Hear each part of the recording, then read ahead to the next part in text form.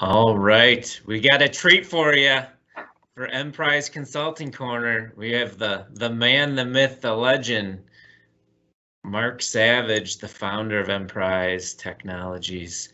Um, so we thought today we would do something a little bit different. I want to walk through the origin story or have Marc walk through the origin story of Emprise and to give everyone an understanding of how we started, why we started, where we are today. And this will be really one episode of probably a many, uh, just the of him and I, since we both like to talk. He normally has more wisdom than I do. Uh, so I wanted to get him on here. So good morning, afternoon, Marc. Good morning, Matt.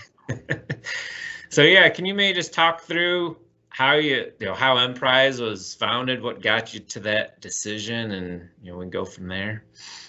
Well, you know, it was really really two major factors. And one was something I didn't like, and one was something that I wanted to make happen.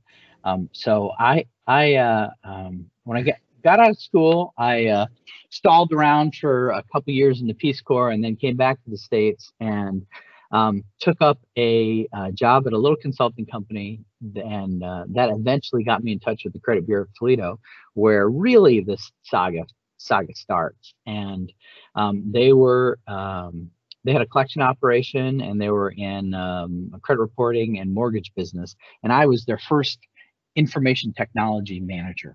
And so uh, I wasn't particularly qualified to do that work, except I was really into it, and really liked it, and loved the technology, and um, didn't realize what a data intensive business the collections or the arm industry really is. And so um, we spent several years gearing up that company to solve the technology problems, uh, onboarding clients and um, generating good client reporting and drawing on all the data next necessary to to really make the company function, uh, skip tracing and letters and you know all that all that stuff. And it was hard really hard. Um, and that uh, that didn't seem right to me. Uh, and then I went to work for, uh, had the opportunity to go to work for a company uh, on the East Coast, uh, a, a, larger company that was doing some really interesting things. And they had just uh, con- converted over to a collection system that we were working with, Ontario Systems FACS. And they had had a really rough go of it. And so I was brought in to kind of figure out how to solve that problem and also to um, uh, also to build a staff because uh, they really didn't have people who knew the knew the technology um, or how to solve those types of problems. So I, I did that for them, and uh, they sold the company uh, to to another company that eventually sold it sold it to NCO, and I uh, I got a, a, a check in my hand, a severance check, and um, what I really wanted to do with that is I wanted to start a company that would do the same kinds of things I had done in these last two companies, but for a broad client base. As part of the problem I was experiencing is when I asked, when I tried to find people to talk to about, yeah, how do you do this stuff? How do you solve these problems? What are you guys thinking about? There was nobody to talk to. There was there was nobody talking about this stuff and and the insights that i was putting putting together i thought were pretty cool but you know i i, I didn't know you know i didn't really know you know sometimes you know oh, i've really got this and good stuff is going on uh, I, I i didn't i thought you know uh, this is probably what what people need and the real the real challenge and what what we built the the company around was the ability to understand the business requirements and then just do the work. Um, and that was the real, real gap that I saw. And the real gap was, was uh, IT folks just wanted to do the technology work. They didn't want to talk to business or understand the business. And it always felt like, much like the accounting department was, the IT department was very separate. They were part of corporate and they just didn't have the didn't have the link with the business and i was really interested in what made the business tick and in order to solve these problems well we really need to understand that so that was kind of the kind of the charter of the the company um, the other piece was when um, when that company was sold uh, and I had recruited a staff there, I lost the ability to take care of that staff, to look after their destinies and to grow them as professionals and, and do that. And that was that was devastating to me. I it was like a never again, you know, sort of Right. sort of sort of experience. And um, uh, I talked to my girlfriend at the time, who later became my wife and partner in the company, and she said, you know, um, if you start a company, then you're really in charge. I was like, I had been kicking around the ideas, but hadn't quite pulled the trigger, and that was the that was a piece that really motivated it. So shockingly, Yeah, that long was just was gonna to your short ask. question. No kids, I assume, at that point. Oh yeah, oh yeah. I mean, no, no, no kids. Kids didn't come along for. Uh, uh, let's see, the oldest is 12 now, and we've been in business 21 years. For nine years later, so had a, a lot of time to get the business going. Thank goodness, because you need that kind of time. Right. So was your then girlfriend, were you guys living together? Something. You know, I think of me even of if I'm single, Matt, no kids, starting a company, you need to have some income somewhere. N- no, I had this. I had this teeny tiny apartment um, uh, in the neighborhood right by where we live now, um, and it was a, a little studio apartment, and I think it was, I think it might have been five hundred dollars a month or something. Yeah, I mean it was really, it was, it was awesome, and uh, um, I had, I had a computer, and Kim had her laptop, and we had all the technology we needed. I, you know, a, a, little. I think internet was thirty dollars a month or something then, and those were my expenses. so, so uh, uh, the the two of us and the cat worked out of the apartment and um, did that for uh, several several years, get getting going. I, you know, it's it's it's not like I was really missing anything because w- wasn't doing anything besides working Right. you know Right. it was it was basically like having uh, an executive office you know um, with a with a you know couch to sleep on and that was yeah that was that was it Yeah. No, that's was getting your first, you know, your clients. Cause if you're, I mean, you have some relationships, right? But you're not, you, well, you don't have. well you know i i knew the folks at ontario systems and i went to them and i said hey i get this idea what do you, what do you think i think there's client there are clients out there who need you know to have a long-term relationship to have some continuity but they they've got some staff but you know i i don't want to work for just one company i, I want to work for a whole bunch of companies right. And they said you know that sounds like a great idea. It's not something we're doing. Um, go and do that and you know we'll see what we can do to help you out. And boy they sure did. They they um i, I did a mailing to i think uh, maybe a hundred contacts that i had. We ended up getting two clients from that first mailing. And you know then it was word of mouth and um, uh, the industry is so small that once you do a little bit of good work for some folks then they talk. And I I remember remember doing doing some work for a, a company in Chicago, and uh, I just completed a real big pro- project. Uh, they were they were converting onto onto FACS, and they had all these interfaces they need to do, and staff get trained, and, and all this kind of stuff. And this is like this is like year two of the year two of the company, and then I get a call from this other company, and it's uh, um, uh, it, it's attention down in Texas, and they say, "Hey, that guys at the client you're working for now, they gave me your name." Really? Yeah, we got the same interface. We were at a client conference. We were talking about it. I, you think you can get that interface done for us kind of right away? Sure. Yeah. I mean, I just did the same thing for these other guys. I'm Right. sure I can do it for you.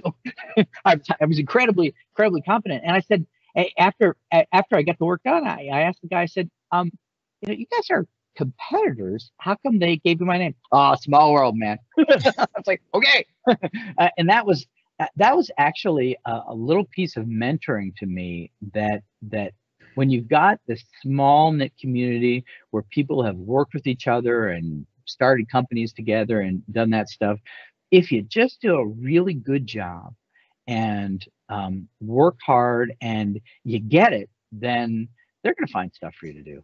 And and they did. Yeah, no, it is small, like we know, and word of mouth is still a big part of. I know how we get clients, and Oh yeah. uh, I've been saying forever, and I think it's coming. You know, a lot of people see it and believe it now that it's you know all about relationships. You might be the cheapest or the most expensive, whatever it may be, but you obviously have to do a good job. But you're not going to work with someone who you don't like, and you you know Right. you see a call on the calendar, you're like, oh, can I get out of this, please? Right. Right. So you And- don't want to be those people. and you know i think we've we've done a good job staying true to what the original vision for the company was was to have people who were really you know i, I- think the term i've been using recently is conversational technologists. Right. people who could talk the business talk the technology uh, had hands in really both worlds realizing that there aren't two worlds there's obviously just one. Um, and and we've now got a staff of those folks um, and that's why uh, when people get a taste of what we're offering they stick with them. We've got some clients we've had for I, I, I, I, don't know we've got some clients that we had from our first couple uh, you know Right. um, they've some of the folks have bounced around to different places, but I'm, I'm thinking about uh, uh, one of our clients in in Indiana. Um, he's been a client for 19 or 20 years. You know, Right. No, that's yeah, that shows relationships and doing a good job and and all that where it counts. So what um a couple last questions I was thinking of. So we'll start the company. What was maybe the biggest challenge or the biggest stress that kept you up on at, night, whether it's, you know, when it first started or, you know, weeks, months into it, years?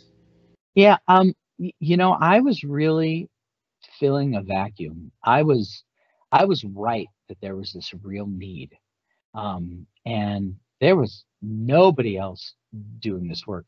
Uh, a matter of fact, several of the other people who are in the industry, kind of doing the work that that we're doing, um, uh, that are like us, are really modeled after what we're doing.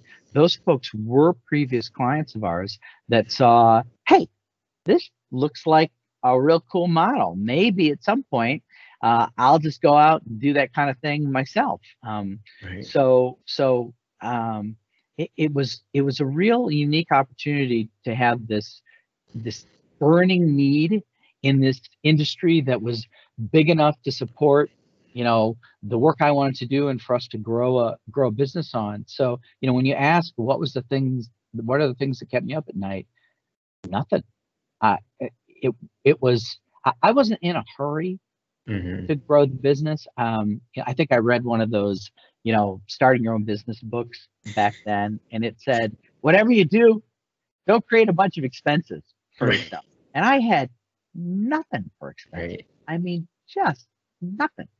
And it it, it took all the pressure out of, oh, got to really get a client.